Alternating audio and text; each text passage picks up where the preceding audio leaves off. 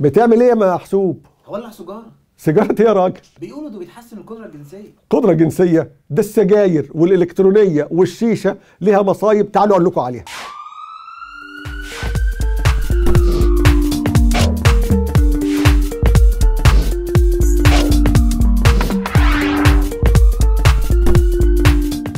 الحلقة دي آه، قصة وراها قصة واقعية فعلا.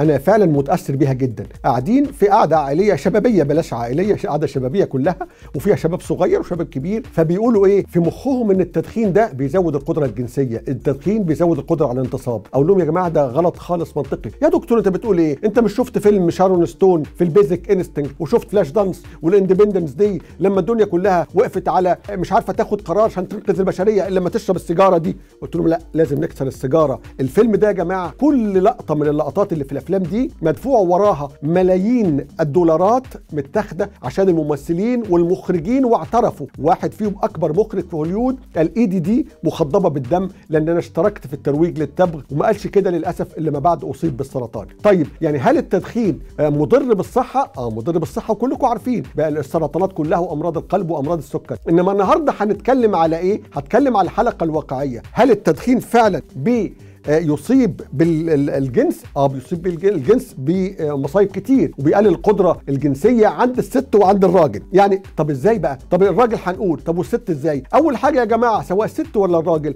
التدخين بيصيب أمراض الجهاز القلب وارتفاع ضغط الدم بحاجات خطيرة جدا. بيصيب بالقلب والسكر والسرطان والمفاصل و و وطبعا بيخلي فيه اكتئابات. وبالتالي القدرة الجنسية أو الرغبة الجنسية نفسها بتقل عند الراجل وعند الست. طيب نيجي بقى دي لأسباب قد تكون غير مباشرة ولكنها خطيرة جدا. بفكركم إن التدخين بيموت 7 مليون شخص في السنة. 7 مليون شخص. شوفوا كوفيد اللي احتلت الدنيا كلها دي موتت كام؟ 2 مليون وشوية. التدخين كل سنة 7 مليون. كل سنة مش مرة واحدة 2 مليون. قول لي بقى يا دكتور التدخين خطورته إيه على المرأة؟ تخيلوا التدخين خطورته على المرأة من أول الجمال بتاعها. المرأة بتظن إنها التدخين بيدي sexy appearance أو زي ما بيقولوا sex appeal أو أو أو وتديها بيزيدها جمال ويزيدها رغبة. الكلام ده غير صحيح. زي ما قلت لكم الإعلام مضلل. الإعلام بتاع التلفزيونات مضلل. طيب بتفتكر إنه الجلد في صورة علمية جميلة جدا بتوضح؟ هي مش جميله هي وحشة جدا. بتوريك الفرق الحقيقي بين المرأة اللي بتظنه في جمالها والجلد وبين المرأة بالتدخين. وبيقلل ال- التدخين بيسبب الإجهاض. التدخين بيسبب زي ما قلنا نقص الرغبة الجنسية عند الست. التدخين قد يؤدي إلى الحمل اللي هو الحمل نفسه ينزل أو الولادة تبقى متعثرة أو الولادة يحصل لها زي ما بنقول premature baby ال baby نفسه ينزل ناقص وزن أو ال baby قدر الله قد يحصل له آه، عيوب خلقية. طب دي في الست يا دكتور. طب إيه اللي يحصل للراجل؟ لا ده الراجل أخطر بكتير.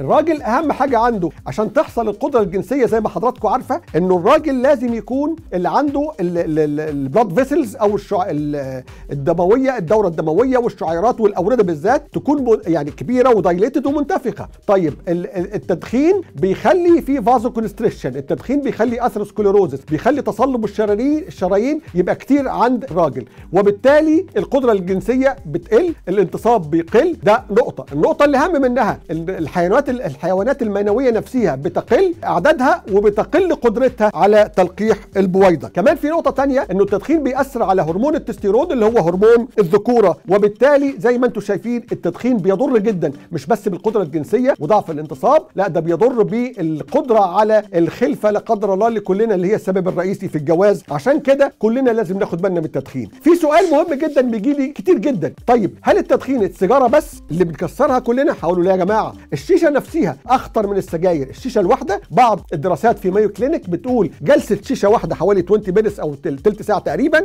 قد تكافئ 200 سيجارة. في في بحوث علمية بتقول من 60 إلى 200 سيجارة. يعني الشيشة الواحدة الجلسة الواحدة من 60 سيجارة إلى 200 سيجارة. اذا الشيشة أخطر كتير على الموضوعات الجنسية. السؤال الثاني اللي خطير وانتشر زي الموضة دلوقتي. هل السيجارة الإلكترونية دي برضه بتضر نفس منظمة الصحة العالمية وال CDC وكل المؤسسات الدولية بتقول السيجارة الإلكترونية قد تكون أو على الأقل زي خطورتها زي السجاير. اكسر السيجارة من النهارده لازم تتخلص منها. وأهم حاجة كمان ما تضعش نفسك في مكان فيه مدخن لأنه التدخين السلبي لو قاعد بيدخن جنبك ده نفس الخطورة بتاعت التدخين الإيجابي. فخليك جريء وكن إيجابي وتخلص من التدخين فورا إذا كنت عايز تحتفظ بالعلاقات الجنسية وقدرتك على آه، تجيب ولاد وتفرح بيهم إن شاء الله. سؤال تاني بيجي أو سؤال ثالث بيجي لي طب التدخين والترامادول والمخدرات والحشيش ده بقى مصيبة سودة على مش بس القدرة الجنسية ده القدرة الجنسية والقلب والسكر والسرطان وكل حاجة وأكيد هنتكلم فيها في حلقة لوحدها. طيب